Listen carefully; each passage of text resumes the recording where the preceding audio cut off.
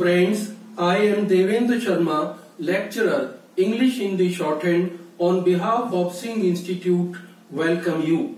साथियों यदि आप शॉर्टहैंड सीखना चाहते हैं या सीख रहे हैं तो मेरे इस एपिसोड को पूरा ध्यान से देखिए सबसे पहली बात तो यह समझनी है कि स्टेनोग्राफी करने के बाद आपको वह सब प्राप्त हो सकता है जो एमए, बीए और बीएड करने के बाद होता है। एक टीचर को चौवन सौ का ग्रेड पेन मिलता है, जो कि एमए और बीएड करता है। लेकिन स्टेनोग्राफी करने के लिए सिर्फ़ ट्वेल्थ पास होने के बाद आपको वो ग्रेड मिल सकता है। इसके अतिरिक्त, इसकी जॉब अपॉर्चुनिटीज़ कोर्ट्स में पार्लियामेंट में पब्लिक अंडरटेकिंग्स में और एसएससी के द्वारा हर हर साल सैकड़ों और हज़ारों पोस्टें निकलती हैं। और हिंदी और इंग्लिश दोनों की अपॉर्चुनिटीज़ बराबर है। लेकिन मैंने देखा है अपने 45 वर्षों के अनुभव में कि शॉर्ट हैंड सीखने वाले विद्यार्थियों की संख्या तो बेतहाशा है, लेकिन इसको बीच में ही छोड़ने वाले विद्यार्थियों की संख्या भी कम नहीं है। मैंने पाया कि इसका कारण क्या है।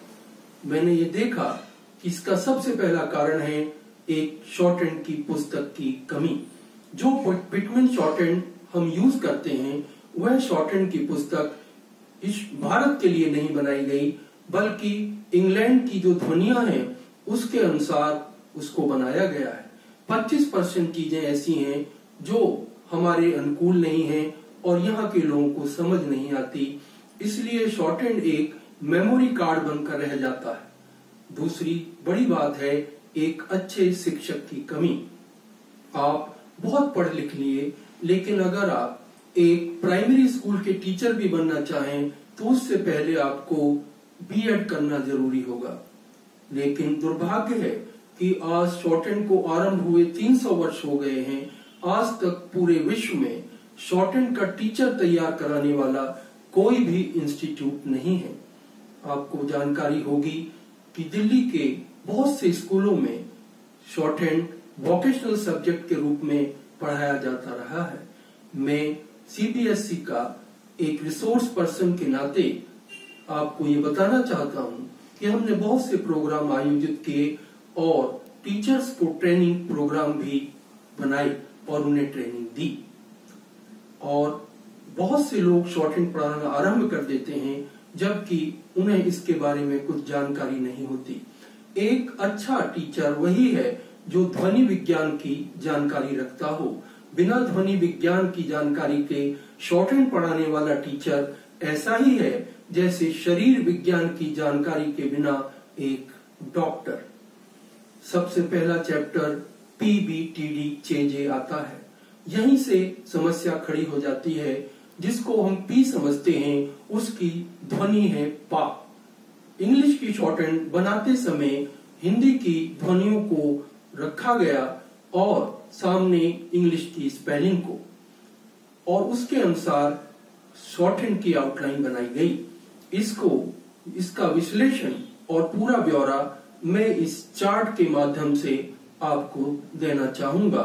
यदि आप इसको समझ लोगे तो आरंभ ही अच्छा हो जाएगा तो इसका परिणाम भी अच्छा ही होगा। Is based on phonetic principle of Sanskrit English shorthand को बनाते समय हिंदी ध्वनि विज्ञान को का प्रयोग किया गया है। सबसे पहले देखिए इंग्लिश का करेक्टर है ए लेकिन ए वॉवल है, इसलिए शॉर्ट हैंड के चार्ट में नहीं रखा गया है। उसके बाद व्यंजन है बी अब हिंदी में आए तो बा से पहले पा है। ये जितने भी पिंक कलर के व्यंजन देख रहे हैं, ये ध्वनिया इंग्लिश में नहीं है। ये फा, फॉ है। इसलिए बा से पहले पा आया और इंग्लिश शॉर्ट को पी से आरंभ किया गया, जो वास्तव में पा की ध्वनि देता है। और आप किसी भी भाषा में इसको लिख सकते हो। इंग्लिश में लिखना संभव नहीं है और उसको आप पी समझते हो। लेकिन आप किसी भी अक्षर में जब पढ़ते हो तो उसकी ध्वनि पा होती है। जैसे हमने बोला अप तो पी नहीं, पा है। इसके बाद तीसरा व्यंजन आता है सी। लेकिन मैंने बोला, क्रोसिन। पहले सी से का की ध्वनि आई, दूसरे सी से सा की। जब हम शॉर्ट एंड में लिखेंगे तो का और सा लिखेंगे।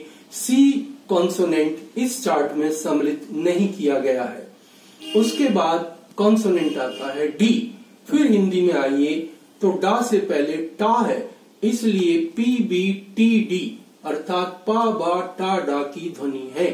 इसके बाद कॉन्सोनेंट आता है ई ई वॉवल है, इसलिए उसको चार्ट में नहीं रखा गया है। उसके बाद एफ़ लेकिन एफ़ ये नीचे वाला है, इसलिए इसको डी के बाद नहीं रखा गया है। उसके बाद व्यंजन आता है जी जिसको आप जी पढ़ते हो। साउंड क्या है? जे जे माने जा। और जा से पहले आता है चा। इसीलिए चा को पहले रखा गया है और चा शॉर्ट में या इंग्लिश में लिखना संभव नहीं है। इसलिए इसको पी बी टी डी चे बोल दिया गया है, जो वास्तव में चा की ध्वनि देता है। जब भी आप इस करेक्टर को लिखेंगे तो ध्वनि चा होगी और चा के बाद जा, क्योंकि जा से पहले चा है। इसके बाद एच आता है एच आप देखेंगे अंत में है हा तो शॉर्ट एंड में भी इसको अंत में ही दिया गया है। उसके बाद है आई लेकिन आई वॉवल है, इसलिए यहाँ पर नहीं है। जे हम पहले दे चुके हैं, और इसके बाद आता है के फिर आप हिंदी वर्णमाला में जाए तो का और उसके बाद गा। इसी तरह पी बी टी डी चे जे के गे जिनकी ध्वनि होगी पा, बा, टा, डा, चा, जा का गा। इसी प्रकार आगे के सारे व्यंजन बनाए गए हैं। समय अभाव के बार, के कारण मैं इनको प्रत्येक का विश्लेषण नहीं दे रहा हूँ। लेकिन अगर ये समझ लिया जाए तो शॉर्ट हैंड लिखने में बहुत सुविधा होगी, जिसे आज तक आप एच समझते हैं। उसकी ध्वनि हा है, जैसे हमने बोला हट। तो हा बोला न कि एच सीखने के लिए जब विद्यार्थी आते हैं तो वह मानकर चलते हैं कि यह इंग्लिश की स्पेलिंग का सब्सटीट्यूट है।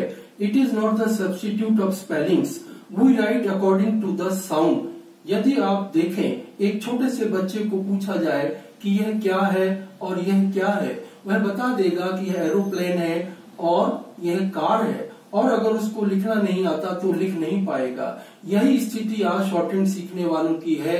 वे हर एक आउटलाइन को एरोप्लेन की तरह या कार की तरह रट लेते हैं और उसके व्यंजनों को नहीं समझते, स्वर को नहीं समझते, जिस कारण से वो नए शब्द नहीं लिख पाते। दूसरा उदाहरण देखिए, हमने बोला निमोनिया। स्पेलिंग पी है लेकिन हम आवाज़ के हिसाब से ना लिखेंगे और जब टाइप करेंगे तो हमको स्पेलिंग अपनी तरफ़ से बनानी होगी। यहाँ पर स्पेलिंग नहीं है। एक और चार्ट देखिए। लिखा हुआ है site S I G S T S I T E C I T E या क्रोसिंग अब तीनों साइट की एक ही आवाज़ है शॉर्ट एंड में एक ही आउटलाइन होगी। क्रोसिंग पहले सी से का है, दूसरे से सा है, लेकिन जब शॉर्ट एंड में लिखेंगे तो का और सा लिखा जाएगा। एक और उदाहरण देखिए, जैसे ड्राउट लेकिन शॉर्ट एंड में ड्राउट है आउट भी लिखा हुआ है। तो बहुत से लोग, अगर इंग्लिश में इसको ड्रॉट बोल रहे हैं तो ड्राउट लिखने के बाद भी ड्रॉट बोलते हैं, जिनमें से मैंने बहुत से टीचर्स को भी देखा है। इसके अतिरिक्त एक अंतिम उदाहरण देखिए डीपो अगर हमने डीपो बोला, लेकिन इसमें टी है शॉर्ट हैंड में, भी टी नहीं होगा, क्योंकि साउंड में नहीं है। शॉर्ट हैंड कर चुके हैं, या शॉर्ट हैंड पढ़ा रहे हैं, अब उनके लिए भी कुछ बातें कहना चाहता हूँ। शॉर्ट हैंड की किताब में बहुत से ऐसे प्रश्न हैं, जिनका उत्तर पुस्तक में उपलब्ध नहीं है। यदि हम कॉन्सोनेंट की ही बात करें तो एक कॉन्सोनेंट है वी जिसकी ध्वनि है वा, और हमने बोला डब्ल्यू या वे उसकी ध्वनि भी वा है। अर्थात किसको कब लिखा जाएगा, यह किताब में नहीं बताया गया है, जिसका मैं पूरा उत्तर दूँगा।